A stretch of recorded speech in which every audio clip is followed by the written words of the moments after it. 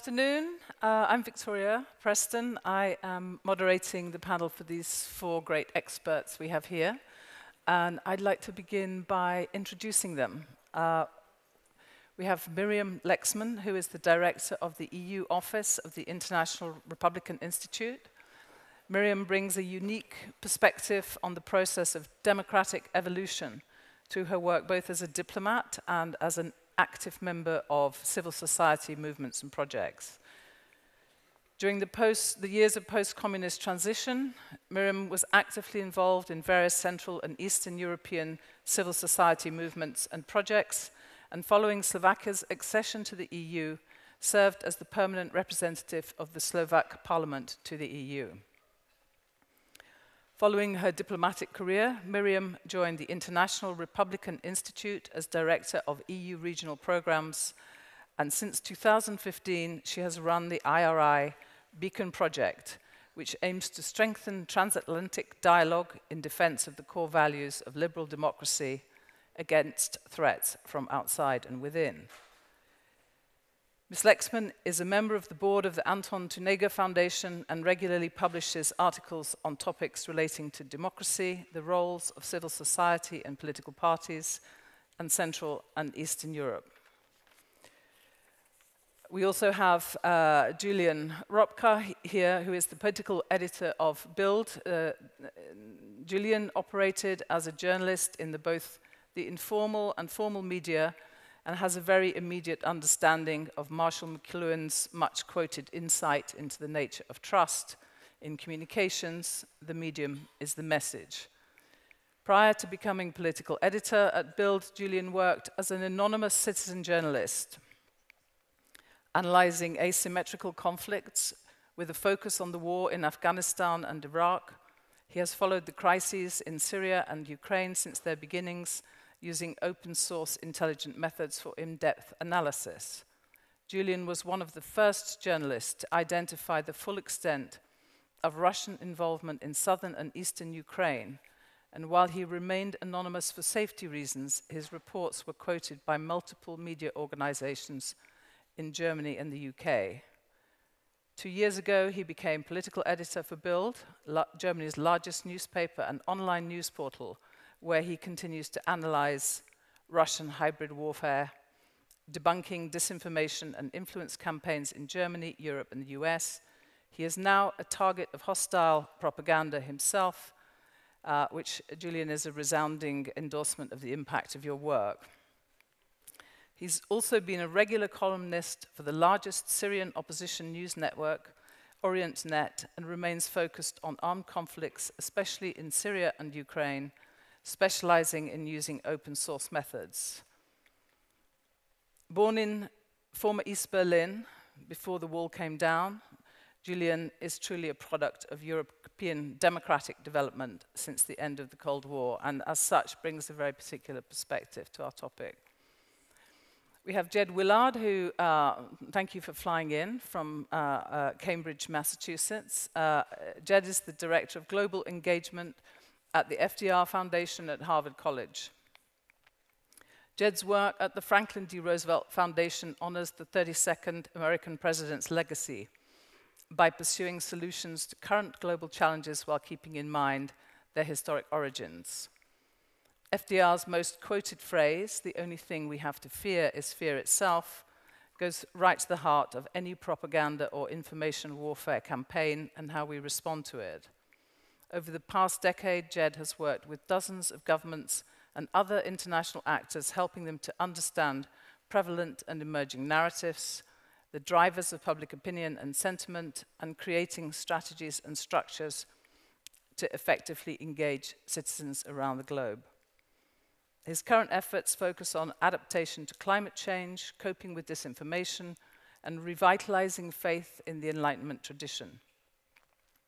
He's also doing some work on the Arctic and uh, the Transatlantic Alliance and the linkages between cultural and economic diplomacy. And we're going to hear more of the kind of cultural aspect of uh, our topic today in this panel.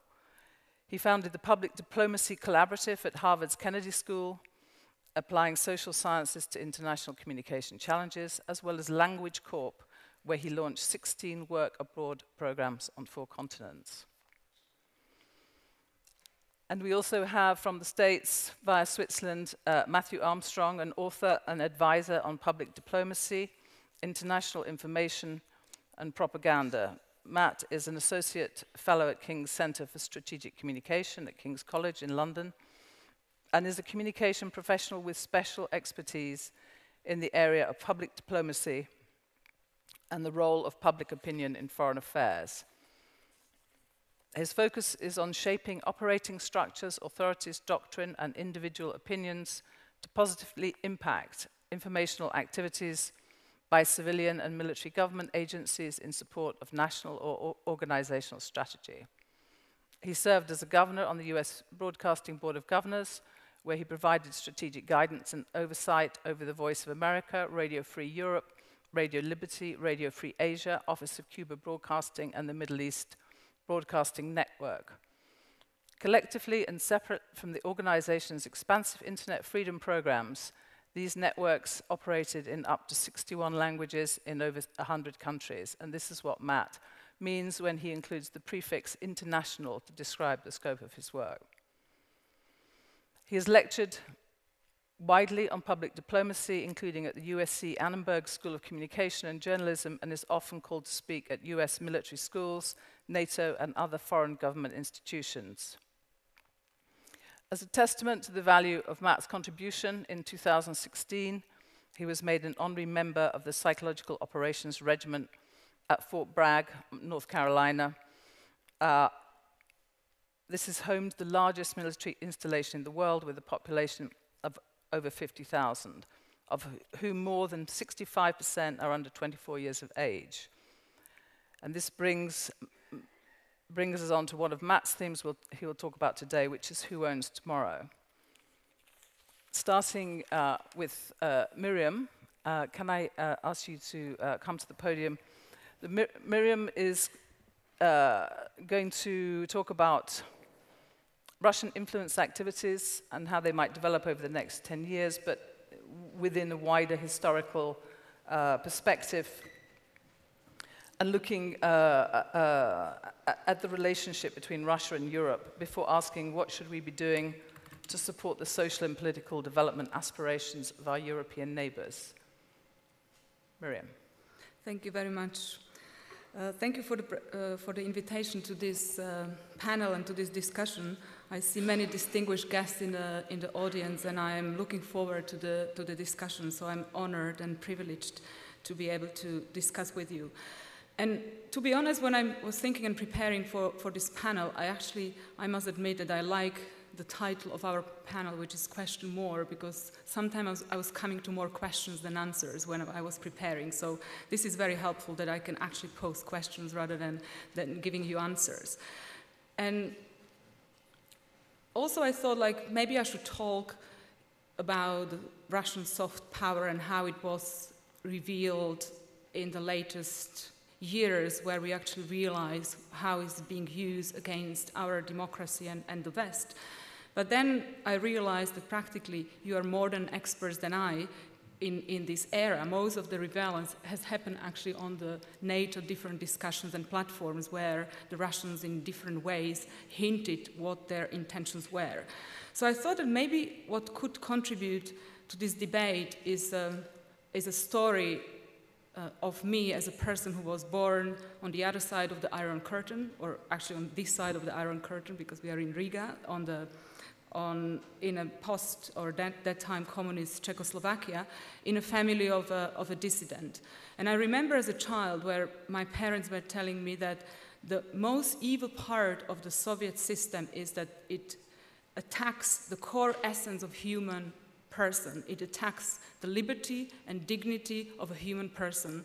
And for this liberty and dignity, my predecessors have given up their freedom or have given up their, their, even, uh, their life. And that's why I would like to focus on this part of aspect of the current propaganda and disinformation, how this is eroding actually our freedom and dignity. During the communist system, it was mainly by physical suppression, but lately, the kind of moral erosion and relativism is mainly being used by the different disinformative narratives and propaganda being used by current Russia. And the, the current technologies actually allow that these narratives, these uh, false narratives and images are entering into every household in our society or even every pocket of every person who holds a, a, a, mobile phone with, with possibilities to be connected to internet. The, the main aim was or can be described as divide et impera. That was the kind of main aim of the propaganda during the Cold War, but it's practically same, same aim is, is today, and the moral erosion as a part of it. In current Russia, talking about the moral erosion, we can talk about the way how the human dignity is being suppressed by the image the state-owned or state-run media are giving about, about human person, where the image of a woman is shrink into her beauty and the, the, the value of a, of a man is shrink to his wallet. And similar moral erosion is being distributed through the different means of propaganda in the West and is tapping into the maybe deep divisions among society in terms of ideology and, and the kind of internal uh, tensions in, in our democracy. And the post-truth era or the, or the era of current relativism, which is boosted by, by disinformation and false narratives, is creating a huge space for propaganda to be exploited by, by the Russian propaganda or any other, any other uh, internal, external um, enemies of, of free democracy or free society. And maybe I will talk about the uh, internal inherent tensions of democracy, which I believe are a kind of Achilles heel at the moment. And the internal tensions are around the kind of divisions which are very natural in our societies. The, it's the tension between liberty versus security, or individualism versus collectivism, or individual responsibility versus collective responsibility. And I would even say maybe kind of the, the distinction between the tension between the kind of French approach to human rights and the Anglo-American approach to human rights, where we see it as a maybe the first one is the, when human rights are more guaranteed and the resource of human rights is the state versus maybe more religious understanding of human rights where God is the guarantor of human rights. And in terms of crisis, the, these inherent tensions of democracies are being shaken and, and we see that the balance is, or the, the balance is being addressed and is being challenged and can be challenged and is being challenged by disinformation. And maybe now talking about Europe, I mean, Europe has gone through a couple of crises in the last decade. It was the financial crisis, then the economic crisis. Today we have the, or we have the, the immigration crisis. We, we are facing a crisis of identity. And all these crises are actually putting these tensions in, uh, in a imbalance. And that's precisely what is being used by, and, and it's not only Russia, it's different internal and external actors who are trying to uh, uh, attack our core liberal values and use it in their advantage. And these tensions are leading into deep divisions among our communities. Maybe one gap which is being exploited by the Russian propaganda today, where I see is maybe one of the kind of main path the propaganda is, or, or lines the propaganda is going al uh, along to, is the liberal conservative divide in our society. And I also see that this is not being addressed by our own societies, and that's why I would like to mention this Achilles heel of our liberal democracy. And I believe that healing of this, of this gap would be one of the ways how to limit the, the, the negative impacts of, of the Russian propaganda and, and disinformation for the sake. Because this, this was happening during the Cold War era and it's happening now, that the, that the, the main weapon we have in our hands is actually to heal our societies and to make them more adherent to our values we talk about. I think we spend too much time sometimes discussing what the Russians are doing and, and too few time to look what we can do in order to heal our societies and close the gaps which are being exploited by, by different uh, foes of, our, of, of liberal democracy. And where I see this one of the kind of gaps is when we talk about common values, because there is less and less common understanding what we actually mean by the common values. And I think we need to come back, try to answer these questions, and bring the two parts of a society which are being divided by the way how they understand these values together in a discussion and debate. When we talk about common values, we talk about liberty, but there is a lack of understanding what actually limits the liberty and what supports our liberty. We talk about dignity, but there is lack of understanding what undermines dignity and what respects dignity. We talk about life, but we cannot agree where life actually starts and how it can or should be ended. And all these tensions in our democracy, which are natural to every democratic system, are being exploited by, by the kind of negative impact of the, of the human nature of discovery, which is internet. That we see that internet has a negative impact because the bubbles the internet is creating and, and, the, and and the way how these issues are being discussed is creating further gaps rather than bringing people together in in a debate. And all this is happening, I would even say, in a kind of moral vacuum which we currently face. And of course, we can discuss many different ways and many different aspects or examples why we can talk about also certain moral vacuum in our society today. But vis-à-vis Russia, I see a couple of moral vacuums which actually lead to further confusion and, and kind of the, the boost the relativism which is already being in the society. I mean, we talk about trying, or our attempts to help to support democracy in Russia, and we thought originally, maybe in a na naive way, that our economic engagement in Russia will help, will lead to, to economic prosperity, and economic prosperity will lead to democracy and will support democracy. Already a long time ago, we have realized that this doesn't work, that practically it works the other way around, that, the, that Russian oligarchs are corrupting our economic system and we are unable to bring democracy in Russia. But there is no reaction to that. We, we talk about human rights and our, uh, our attempt to uphold human rights, but at the Human Rights Court in Strasbourg, we have Russian judges who are deciding about the cases of European citizens when they sue their governments for violation of their rights. We have Russian judges de deciding about these cases.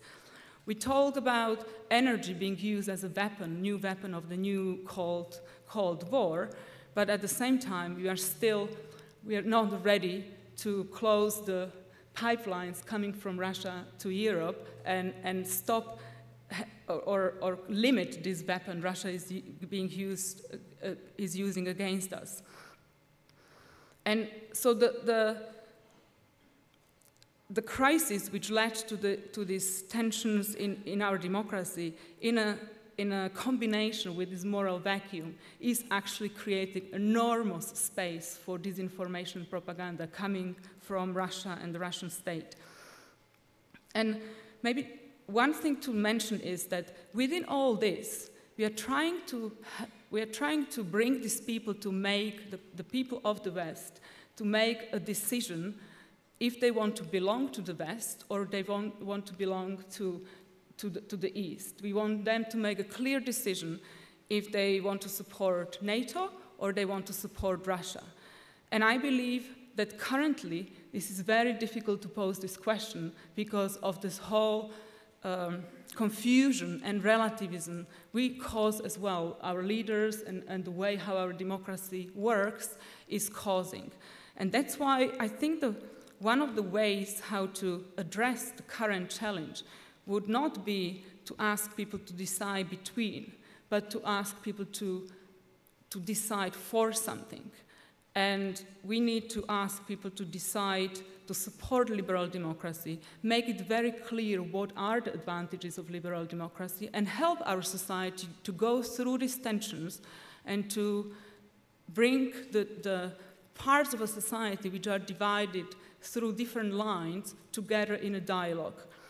And why I'm thinking that this is one of the answers to, to the growing uh, disinformation is uh, the International Republican Institute has conducted an opinion poll in the Visegrad four countries, and I would like to share a couple of slides which clearly show or support my appeal to you that this is the way how I believe that we should rephrase our question. And so I have four slides on I mean, the, the, the, opinion poll was a very long one, but, but there are a couple of slides which actually support this.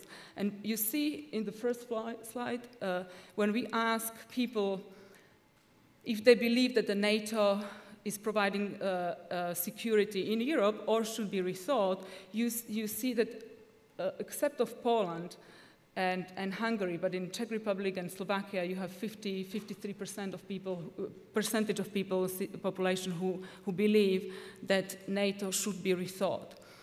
When, when we ask if, uh, if Russia should be considered a partner for European security, you had up to 75% of Slovaks saying that they believe that Russia should be considered as a partner uh, to European security. And from the lowest number is 35% of, of, uh, of population of, of, Poland. When we uh, ask about the role of the United States, you see even these countries which, who considered the United States as a, as a co-partner for, for decades, you see that, that practically, except of Poland, or yes, you have 60% of uh, population of Slovakia, 44% in Czech Republic, 27% in, in Poland, and 41% in Hungary believe that the role of United States is actually more controversial and, and, and the United States should be excluded for, for the European security structures. And this is the final, final picture where when people are asked to, uh, to decide between standing or supporting NATO or rather having a neutral position of the country, you see that in all four countries, more than half of the population, when, when you when you count together, strongly agree and somehow, somewhat agree. More than half of the population in all of the four countries actually supports neutrality. And this leads me to, to think that the question has to be rephrased, that we should not ask where we, we belong or we want to belong, but we need to ask the people where do they want to go, for what we would like, they would like to decide, and we have to help them to understand the advantages of the free society and liberal democracy. Thank you very much. So her. Miriam, I just wanted to ask you one question uh, um, uh, before mo moving on to Julian, which is uh, Ambassador Ildem said this morning that uh, it's difficult sometimes to get a consensus within NATO and that that was a strength. Do you think uh, that we, do you think Western liberalism needs to be less dogmatic than we currently are in seeking uh, affinity rather than uh, a, a, sort of broader uh, consensus within uh, groups of allies about what the future might look like for each of those parties.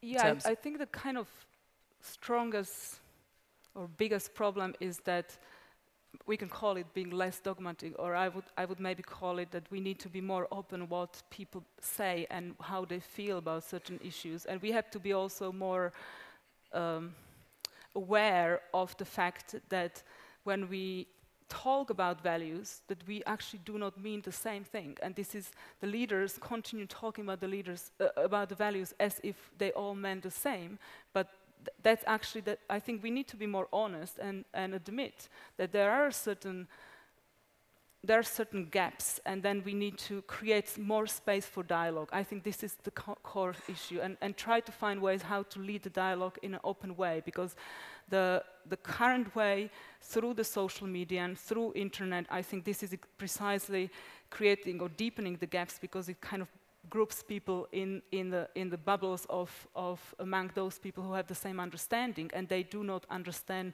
how other people feel or think about the same issues. Thank you.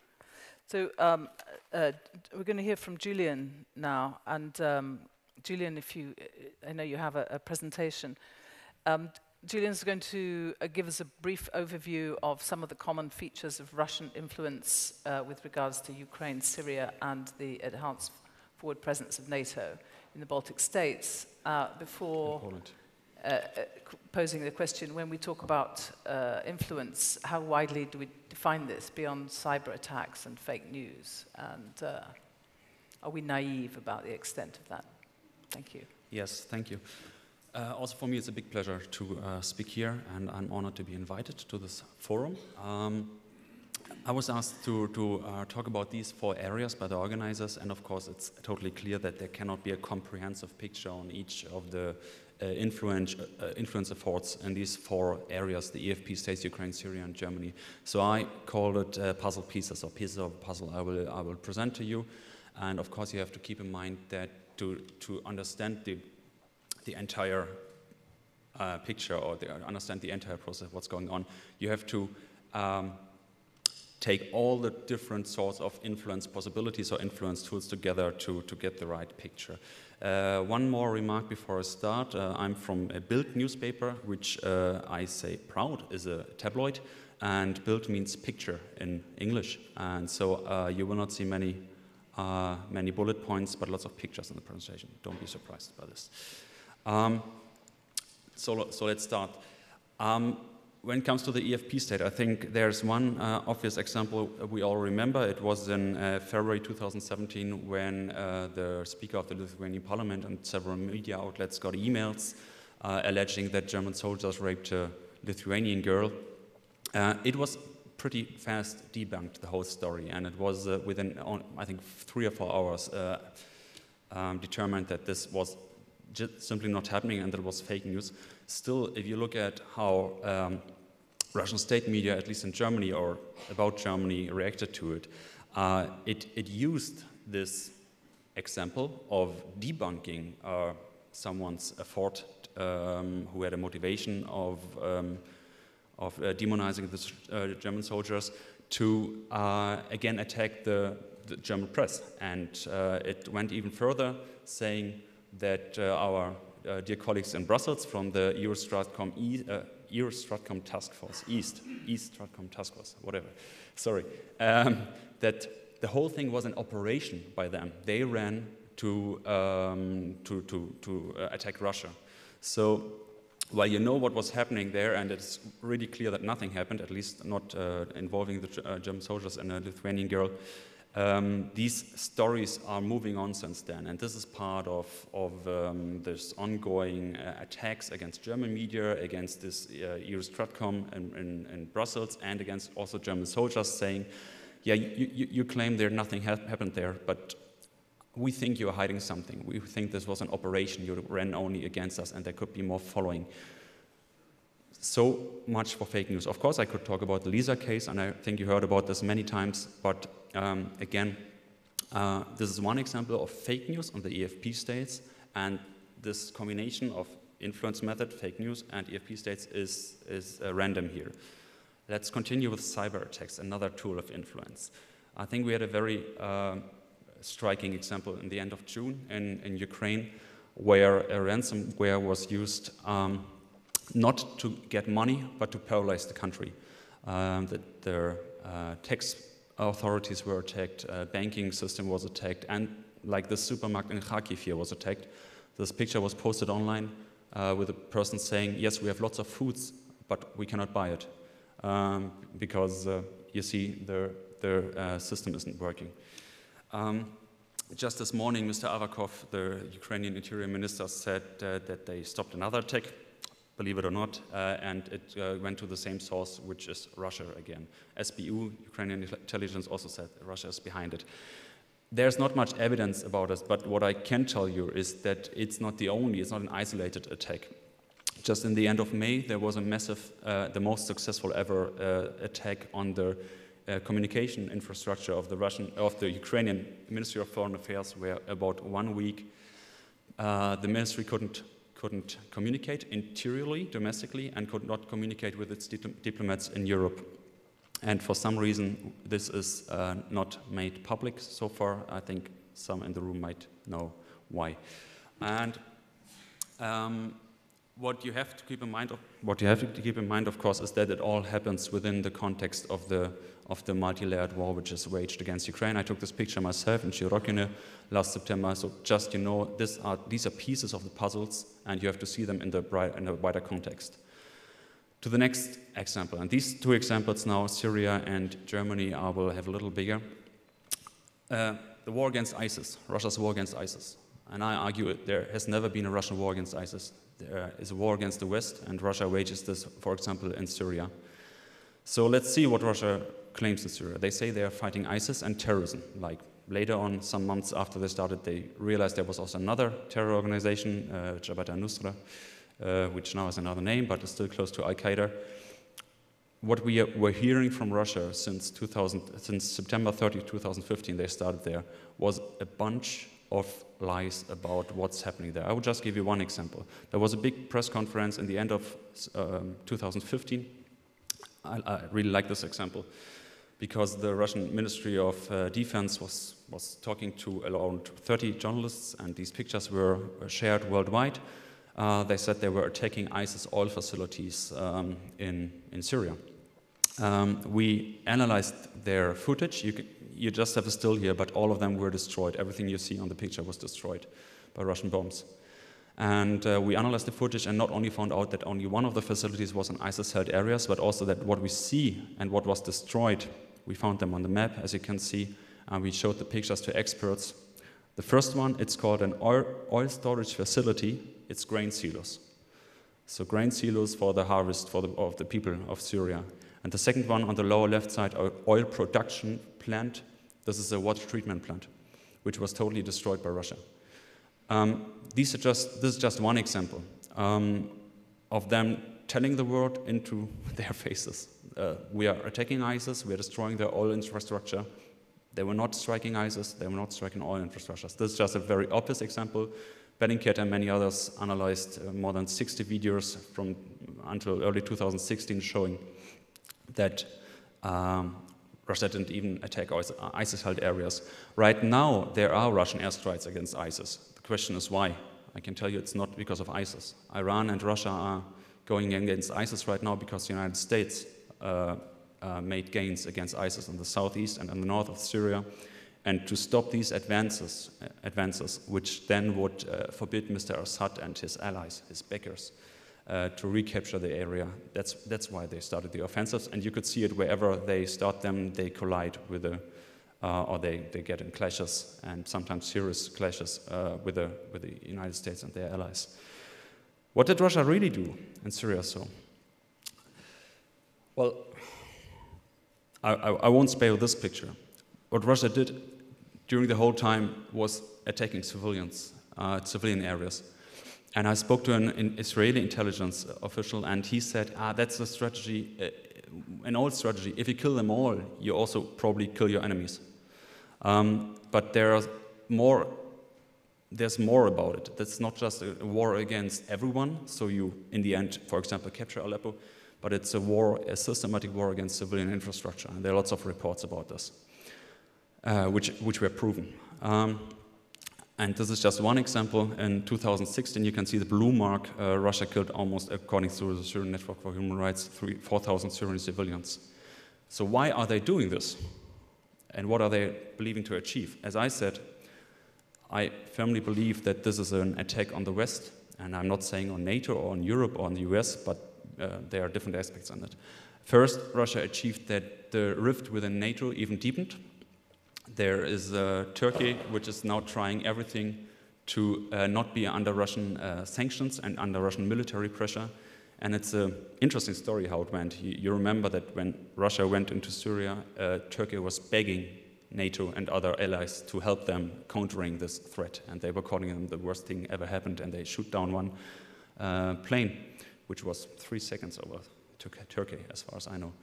Um, still afterwards, Russia reacted in such a strong way that it uh, forced Turkey into reconciliation with Russia, and right now they are not yet threatening to leave NATO, but they are getting more and more between NATO and Russia and other regional powers. A second thing why I think this is an active influence of Russia against the West is that their bombs caused refugees. And their bombs deliberately caused refugees by destroying schools, hospitals, water facilities. They wanted people to flee the area. Between the start of the Russian intervention and now, there's 1.1 million refugees more in Turkey. And you might say, great, we have this deal with Turkey, so they're not coming to us, to Europe. But for example, Germany pays 428 million euros to Turkey to keep the refugees inside their country and have a better uh, treatment of them within the country. At the same time, you see that uh, these refugees, these streams of people, streams of humans, which also made it to Europe, many of them to Germany, around 1 million, um, they do enormous good for what the, Kremlin wants in Europe to strengthen radical parties and to strengthen populists which are not only anti refugee, but in many cases also pro Russian. And of course, Mr. Putin just said some days ago why they went to Syria. I, I would just read it. Putin also said that Russia had gained priceless experience by using its newest weapons during the Syria operation as advanced weapons had been put to test, and so on and so forth. So Russia itself gave a reason why they went to Syria. It was not about Syria, it was not about ISIS, it was to, to test weapons. So what about ISIS in the end? Here's one tweet by the Russian Foreign Ministry, which I really think is, is remarkable. Uh, Mrs. Zakharova, Mrs. Said, We note with satisfaction the increase in positive trends in the military political situation in Syria, US bombing victim. So this is pure sarcasm. Uh, this is a report about 43 civilians being killed in Raqqa during the real operation against ISIS. And don't get me wrong, I don't want to say the United States is not killing civilians in Syria. They are, and they are killing, I think, 10 times more than they admit. Uh, all the pictures and all the information we get uh, prove this. Still, as soon as someone really fights against ISIS and not under the umbrella of Russia, uh, they have a big problem, and Russia is not supporting their fight against ISIS. Now we come to the last country, which is Germany. Whenever I get asked about, uh, whenever I'm in Europe, people ask me, yes, how is the cooperation between the extremist parties in Germany going on? The AFD on the right side and the Linke on the left side, the left party. And I'm I can tell them, yes, there's some cooperation. I mean, the Linke party is 100% ideologically on the, on the Kremlin side. And they are always interviewed by Russian state media. The rightist party, they are having all their programs in Russian, which is the only party in Germany which have all their um, all their posters and all their election program in Russian, and they have VK sites also as the only party. But still, I'm saying you're, and that's my point, you're looking at the wrong parties and you're looking at the wrong instruments. What I think is a very important and one of the most important instruments of Russian influence is, for example, this one here, the German-Russian Forum. And here are two very important uh, actors on this. The one is uh, Matthias Platzeck, the former um, chairman of the Social Democratic Party and also former governor uh, of a German um, Bundesland. And in the background, you can see the Gorchakov Foundation. So let's look at this. The Gorchakov Foundation states on its homepage uh, that it's it's, it is using soft powers to exert influence in international space by using their cultural, historic, and political values. So this organization, which is, was, funded, uh, was founded 2010 by then President Medvedev, is 100% paid by Kremlin money and is openly saying that we want to influence the West, we want to influence these countries where we are active. And we were wondering why Mr. Platzeck, wherever he is, stands in front of Gorchakov uh, Foundations, why this is a registered German association, the German-Russian Forum.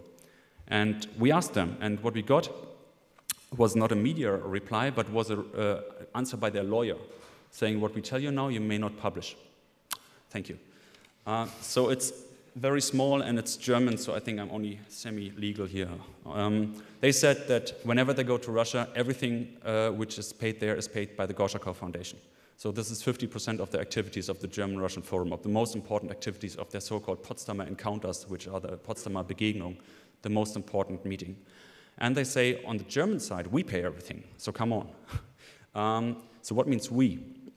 We know that the budget from the German-Russian Forum on the German side is 60,000 euros when it comes to fees from their different uh, members, persons. This is not enough. They have a budget of more than, they, they need more than 200,000 euros a year to, to run what they are doing. And the, the sponsors behind this are big companies like Gazprom Germany, 104. So you can see that more than 50% of the activities of the German-Russian Forum are directly or indirectly funded by the Kremlin. Uh, what is the result of this? On June 23, we had Mr. Mr. Lavrov here in Berlin, in Berlin, by the way. Why they're saying uh, they don't pay any money to, to, to, German activities, but you can see the only sponsor in the background is the Gorchakov Foundation.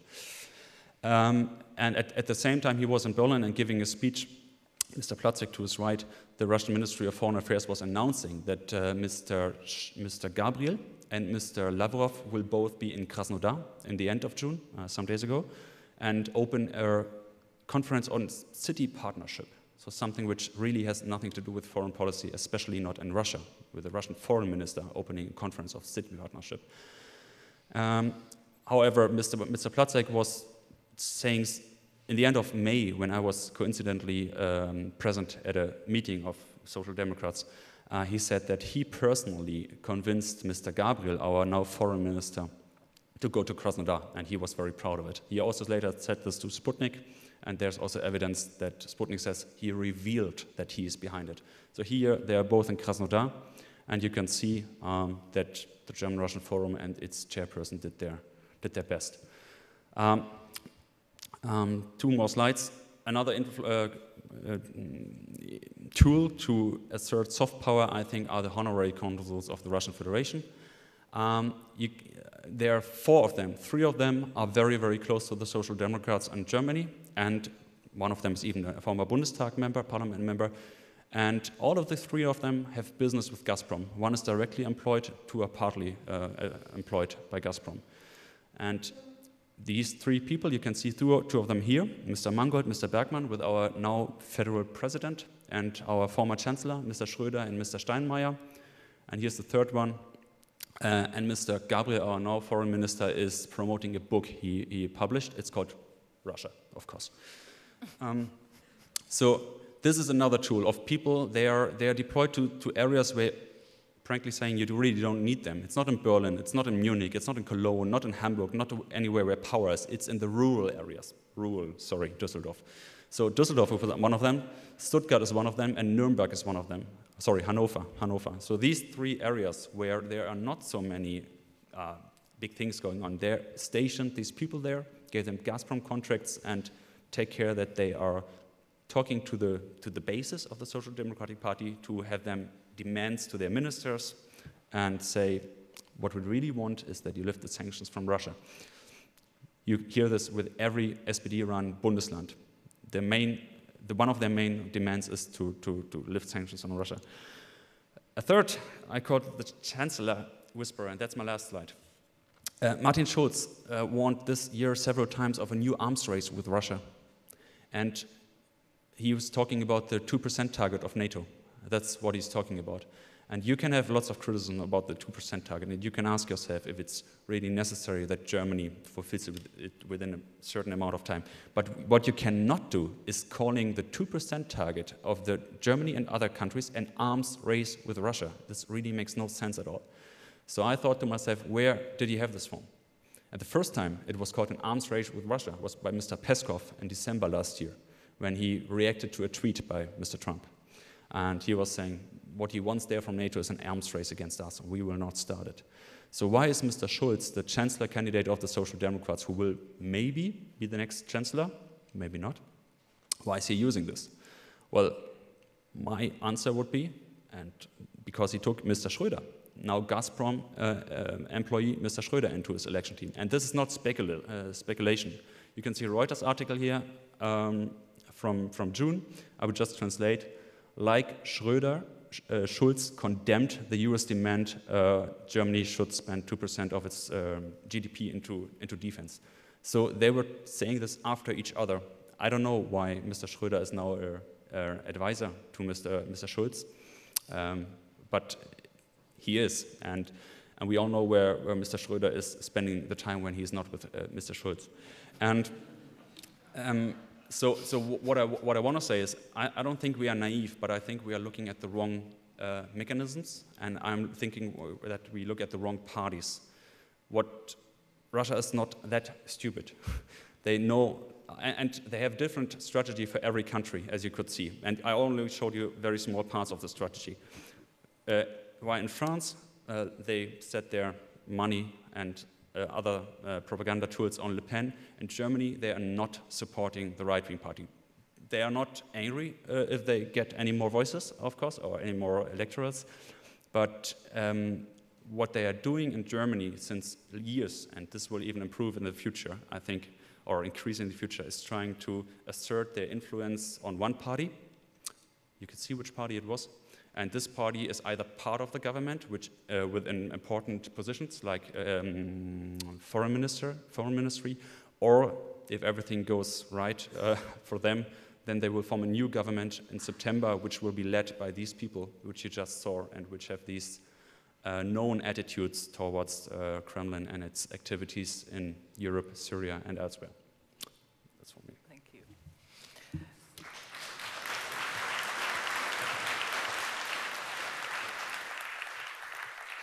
So, um, Julian, I just wanted to ask you as a practical uh, matter and picking up on uh, Alex Aitken's talk this morning and also uh, the presentation by Estonia's president about the relationship between uh, government and the media, what you uh, would like to see in terms of the relationship between the press in Germany and the government in terms of getting a more trust, uh, trusted relationship?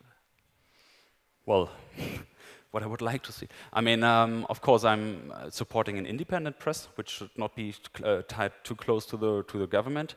However, what my, my editor-in-chief said after, after the end of last year, where Bild ran dozens and dozens of articles trying to show what's really happening in Syria and what's really happening in Aleppo, and we were trying to convince our politicians that something is going on there and that they should act, um, like having um, sanctions against uh, Russia for what they're doing in Syria. And you know there are no sanctions at all because of what Russia did in Syria, and there are no sanctions at all because of Russia, what Russia does in eastern Ukraine, only in southern Ukraine. Um, and it was simply ignored. Um, and I have to say that we have the feeling that our then foreign minister, who's now our federal president, um, had a different understanding of what was happening in the world. You know, when he talked about Aleppo, he said, it could be to the mutual uh, cultural benefit that Russia and us rebuilt Aleppo together while Russian bombs were falling on children in Aleppo. And this was the time where we were really asking ourselves, what's, what's going on there? Why they have these absolutely out of touch and out of reality attitudes, several ministers and several politicians.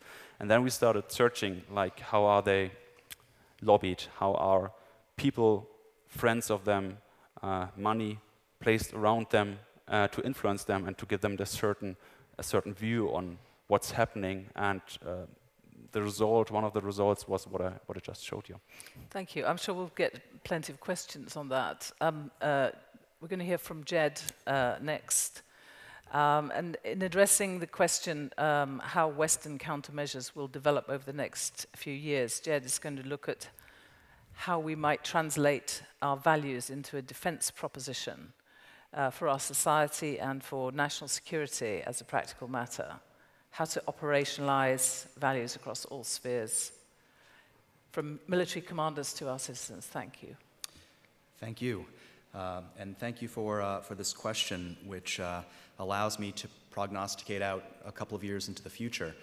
Um, it's fun to look at the future uh, because no one expects you to be right, and really you only have to make one decision, which is whether you want to be pessimistic or whether you want to be optimistic. And uh, I'm happy to report to uh, Sarts that I'm going to be optimistic today. Uh, I think we're going to learn some really valuable lessons, and we're going to uh, kick some serious butt. Uh, Western countermeasures will develop along two metrics one macro and one micro. At the macro level, we must broaden our understanding of what's going on here and come to a general agreement about what's at stake. We are in a period of quick and dramatic societal change that's not just technological, but more importantly, socioeconomic and structural on a global scale. This is a period in which the way humans organize and govern themselves will shift, and the direction of that shift is what we are contesting. At the micro level, we need to learn how to apply the lessons from social science, campaign management, and big data to information and influence campaigns. These lessons are more immediately applicable to the problem and perhaps therefore more exciting. But in all honesty, I do not believe they are nearly as important in the long run as the macro understanding. So, what kinds of cooperation and actions will enable Western countries and alliances to triumph at the macro level? We will need to learn to be clear about our ideology, the narratives we use to communicate and support that ideology, and our identities. I say identities plural, uh, both because multiple identities build resilience in our populations, and because we're going to learn that there is power in considering oneself not just a good Latvian, but also a good Balt, and also a good European, and simultaneously a good transatlanticist, and lastly, a worthy child of the Enlightenment. Cultivating multiple identities will enable us to more effectively coordinate Western voices across boundaries without sacrificing authenticity. We will increasingly understand that effectively responding to foreign influence requires standing up for who we are and for what we believe and that to do so requires a whole of government and indeed whole of, a uh, whole of society response. Now, if this sounds challenging, it's because it is. It will require strong and honest leadership and a willingness to clarify the difference between real threats to our societies, and there are real threats to our societies, from automation to climate change. They are real, versus conspiracy theories. Honestly, though, I think many of our leaders are already there. Here's a quote from Canada's Foreign Minister Freeland a month ago discussing the liberal international order.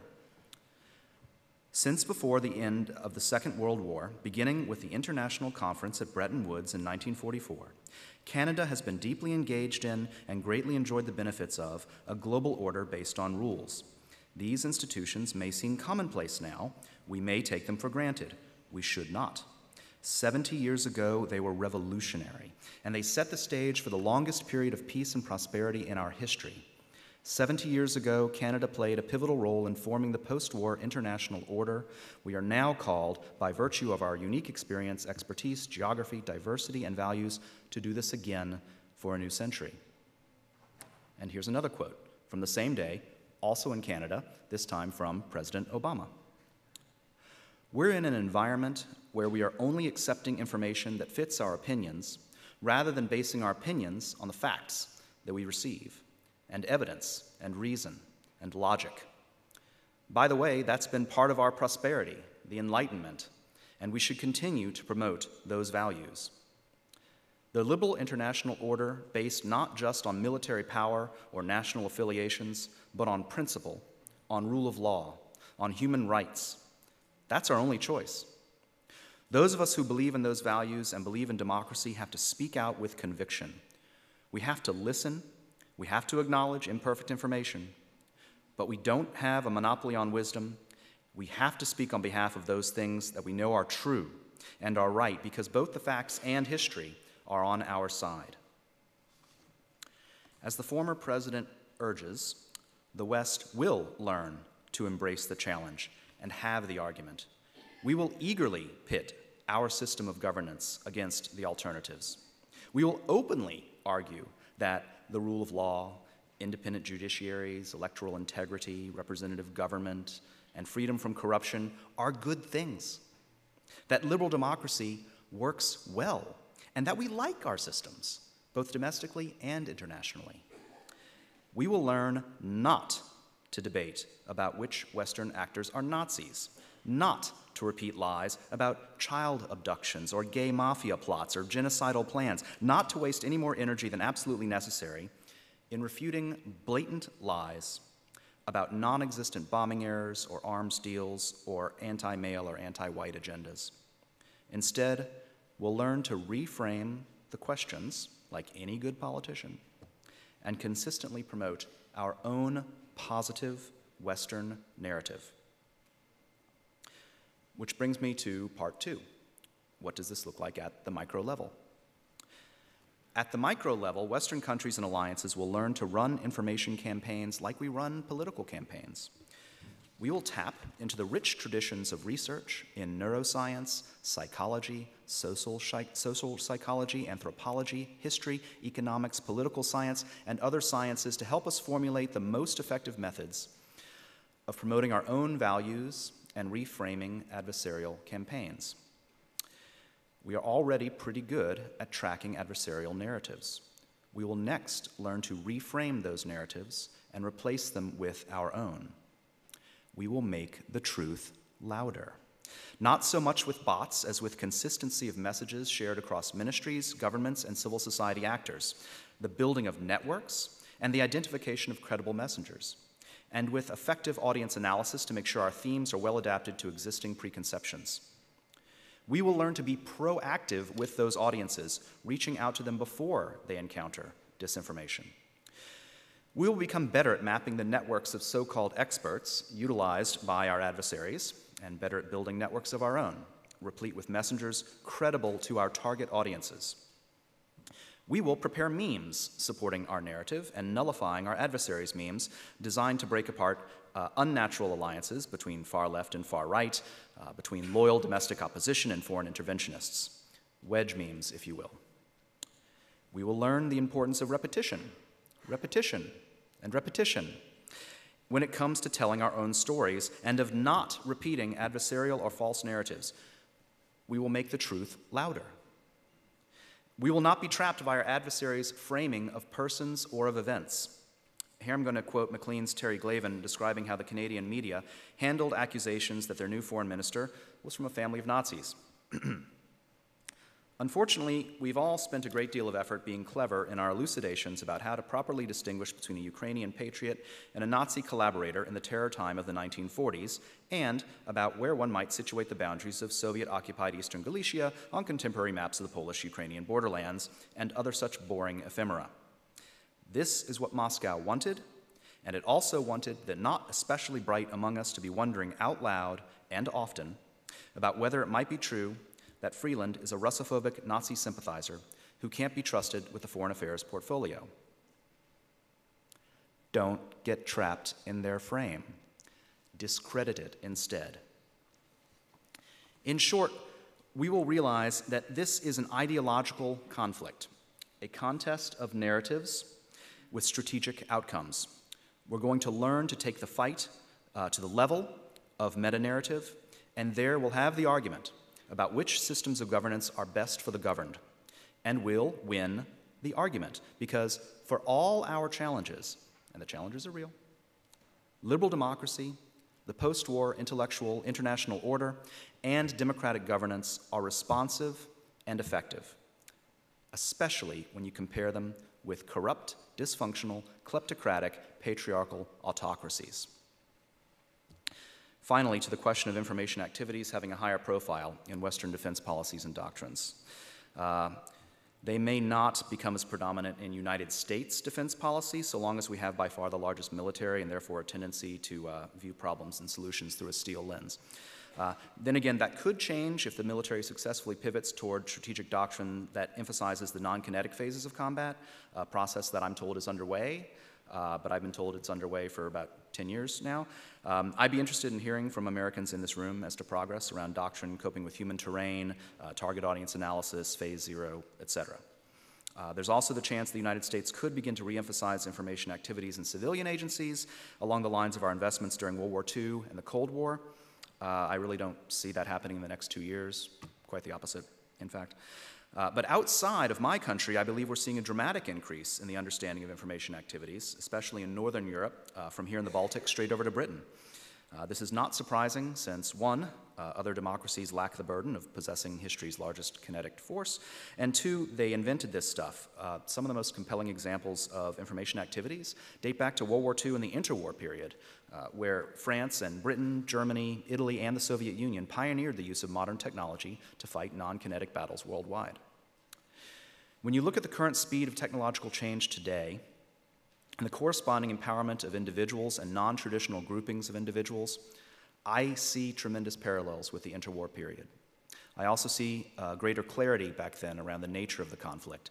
The people and organizations working to promote fascism, communism, and liberal democracy were consciously battling to define human destiny, and all sides were convinced they were right. And this gets me back to my main point. Western democracies will be well placed to cope with disinformation campaigns when we are confident enough to reframe them.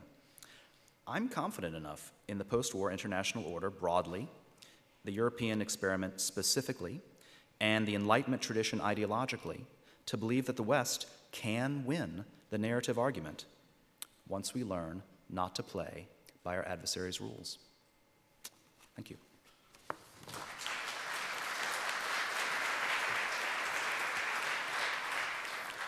Thank you, Jed. I, I, I, wanted to ask you whether, uh, whether you had given any thought to, I, kn I know you're interested in uh, climate change, and whether you'd given any thought to the uh, collective action in the green movement in order to shift social attitudes to uh, climate change, and whether there's an opportunity to deploy those same sort of mass participation movements in, in support of uh, democratic values? Uh, unfortunately, I, I, used up all of my optimism over there, so I'm out. Uh, so I'm, I'm, back to being a pessimist now. While I, I, do believe that there is power in, in coming together across national boundaries uh, and becoming part of the green movement and looking to the future of our, of our children, our grandchildren, and our civilization itself, uh, th there, there is value there, and it's a, it's, you do need to have a coordinating uh, a, a, basis for, for cooperation and coordination. Uh, I think that the threat of climate change is so dire and will have such horrifying knock on effects from uncontrolled migration to mass famine, uh, that it will lead to more problems uh, indirectly. Uh, that people, when faced with this uh, giant, dark future apocalypse, will immediately do what humans always do when faced with dark apocalypses they will turn on the other, and they will turn on each other based on religion, based on gender, based on sexual preference as they always have. Uh, so I'm sorry, but thank, I'm, thank you. That's pretty dark. Um, yeah. Uh, so um, uh, uh, Matt uh, is going to be looking at uh, Russia's strategic intent. We we heard this morning from our friend from Finland about motive, means, and opportunity in strategic comms, and I, th I, think you're going to be looking at strategic intent or motive behind Russia's uh, campaign in Western democracies and what we can do to inoculate ourselves against it, and uh, looking at particularly how you create a cost for that. Thank you, thank you, Victoria. Thank you, Dr. Sarts, and thank you, uh, the COE, for this uh, this event, and I appreciate it. I also understand and appreciate this is a dialogue, and so I'm going to keep my comments brief so we can get into the conversation. Uh, earlier this century, I changed careers from the, the realm of knowledge management, which is about getting the right information to the right person at the right time, which is exactly what we're talking about in this space. And for me to know what information you want, I have to have your questions. So I'm looking forward to uh, that part of the dialogue. So I've got four points I'm going to uh, quickly get through. The first, this is not new. Whereas the first weapon of aggression by the Kremlin is propaganda designed to subvert, to confuse, and to divide the free world and to inflame the Russian and satellite peoples with hatred for, free, for our free institutions, et cetera, et cetera. That was a Senate resolution, US Senate resolution passed in 1951. We've been here before. We figured out what was going on. It was a struggle for minds and wills, not a battle for hearts and minds. We armed ourselves. So, the question we have that we forgot from that period of time, the question we have today is some of this really more about us than about Russia. We frame this encountering Russia, but what are the opportunities that they're taking advantage of? What are, we can call it a weakness, but I prefer to call it what are we talking about? What do we want tomorrow to look like? What do we want our nations and societies to do and be like? And what are we willing to defend and, and fight for? We heard earlier in some of the conversations the various um, let's call it economic and financial vulnerabilities. But where, where is our political leadership? There's an interesting irony here that th- we're talking about the realm of public opinion, yet in democratic nations, how does a leader get elected? By understanding public opinion. And yet, in the, this realm of national security, it seems to be forgotten. And so we segregate, we relegate this notion of strategic communication, you can call it by a variety of other names, we relegate it off to the side. In some ways, we outsource it. But this, is a, this, is, this room is filled primarily with people involved uh, on the military side. This is a NATO conference. Now, of course, there's going to be some self selection in that process. But where is our Ministry of Foreign Affairs in these activities? Standing up. But where is the Ministry of Interior? Interior? Where's, for the United States example, the Department of Homeland Security? Where is the Department of Treasury? And I'll tell you, in the 1940s and 1950s, the Department of Treasury was fundamental in this issue. Today, in the United States, we look at Treasury being involved in money flows. But it's about economic development. It's about how do you help and build and inoculate against the adversarial narrative. And that sometimes takes money. Department of Interior, we can look at Fish and Wildlife Services and how they help local societies and local econo- uh, ecological situations. But let me get back to the focus here. Where is our national policies, our inclusion, our communications domestically? There's something I call the marketplace for loyalty. This is not just identity, this is the operation, operation, operationalization, tough one, to get out of identity. We talk about how the boundaries for uh, um, communication, distance, time. We don't talk about how the boundaries of communication of language, ethnicity, culture, religion have fallen. And this is not just the boundaries of communication, but boundaries of group inclusion. Who are you? You can now test drive, opt in to an identity, opt in and test drive multiple identities. And this is both an opportunity and, uh, and a threat. Think of this in a marketing term. Think of this as you're trying to sell a product. You break down the demographics. Now, think of it in terms of what is your identity? How many identities do you have? Where are you putting your allegiance? What does this mean to nationalism? What does this mean to national security? And we're not thinking of this in terms of, of that.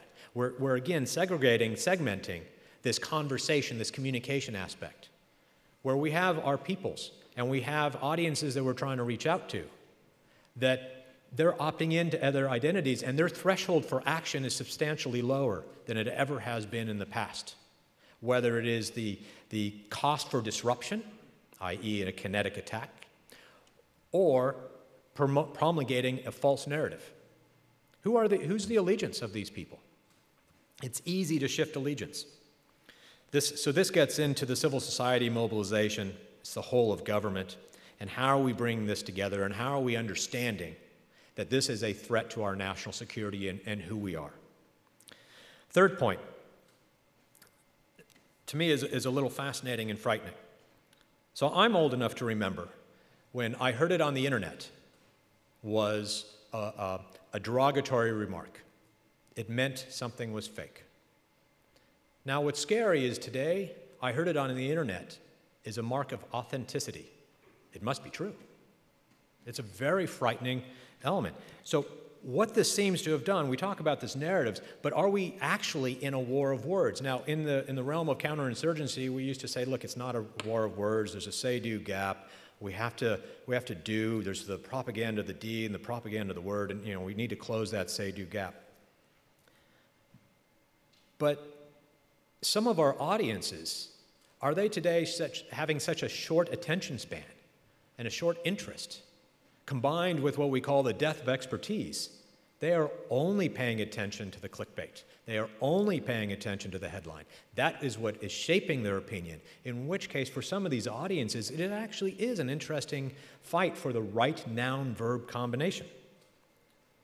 Is it now a war of words for some of our audiences? We, there are no blanket solutions here or statements here. There are some audiences where there is simply no expertise. They are the expert, they have no idea. And how are we addressing those audiences? The, and, and in fact, is there an element that we start to shame people that do that? That they don't understand what they're actually trying to say? I know personally when I see somebody on Facebook share some, some dribble, offline I kind of I, I talk to them and I say, do you, do you understand the source here? Did you click on the link? Did you look at the actual story? Did you see how it relates to what you're trying to say? And it's quite fascinating because oftentimes they don't. They have no clue. And oftentimes they then delete the post out of shame. But the, the point here is we can talk about narratives, but some of our audiences, it's not about a ground narrative because they're not actually thinking about what is being done, which is a scary thing. We can say something and do something else, and for some audiences that works because they don't care, they're not paying attention to what you do. My fourth point, and again, I'm, I'm intentionally keeping this super brief because I want to get in the conversation. I'm hoping I'm provoking some ideas and questions uh, from you. But what is our relationship with Russia? What do we want our relationship with Russia? Since the, the primary focus of the conversation here is Russia, I'm going to pick on them. What do we want our relationship to be? What are we willing to fight for and defend? What cost are we willing to impose on Russia for the activities that they are conducting in our nations? Are we willing to, to surrender some of the financial and economic elements because we want to be enriched by the relationship? Of course, they have very little to contribute on the international scale but there is money that can flow into our nations from them. This gets into the political will question and the political leadership question once again. What are we willing to do? I haven't seen any activity right now with regard to the, the topic of conversation here that is deterrent to Russia. There is simply no cost that we are imposing upon them, and I see nothing going in that direction. I see us talking about countering which, as, as Jed aptly pointed out, is allowing them to set the field of engagement, the rules of engagement, as well as the field. That's not accurate. We need to get ahead of this. And that draws me into my conclusion, and that is are we preparing to fight the last war as we're talking about Ru- what Russia is doing today and not looking ahead in advance? We already know that fighting the last war is a, is a great tendency of the military. But how are we looking ahead to preempt, to advance, to inoculate, and to set the terms of engagement on our terms. We're democracies. We believe in the freedom of speech. We believe in a whole bunch of freedoms, the freedom to listen. But those are easily abused. How far are we allowing somebody else who doesn't believe in those, who wants, who, who wants destabilization, how well are, are we going to fight for this? And how are we going to bring in the rest of government and society? Personally, I, have been frustrated because I'm at these conferences, uh, uh, you know, innumerable conferences, and we keep talking about tactics. And the tactics are generally looking at how do we counter the other guy's tactic. We need to get ahead of the ball and figure out what do we want and what are we willing to defend and fight for. And then we set the, uh, set the terms of engagement. So again, I appreciate your, uh, I look forward to the questions. I appreciate the time. Thank you.